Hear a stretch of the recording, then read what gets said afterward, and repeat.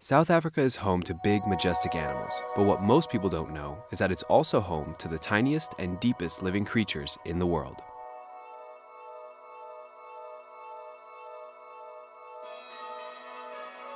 Gaëtan is a zoologist from Belgium who regularly travels to the mines of South Africa to find worms that could unlock clues to life on other planets.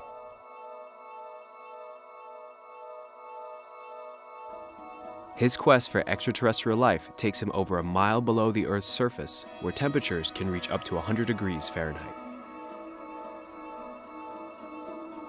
These extreme environments provide the closest analog to the potential subsurface conditions on Mars.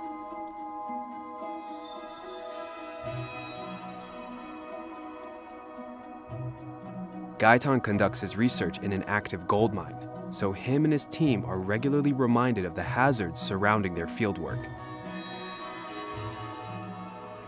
Here, they narrowly avoid a mine train carrying debris. This is where Gaëtan discovered the devil worm. If worms can survive here with zero sunlight and almost no oxygen, Gaëtan hopes that there are similar pockets of life in the subsurface of other planets.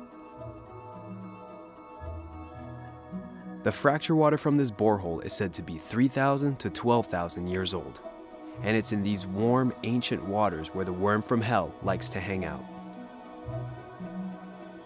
Seen under a microscope, this is what the devil worm looks like. It got its nickname because of the hellish surroundings that it's able to thrive in. A place where the majority of the scientific community had previously deemed uninhabitable for any multicellular organism. After about an hour underground, it's time to resurface.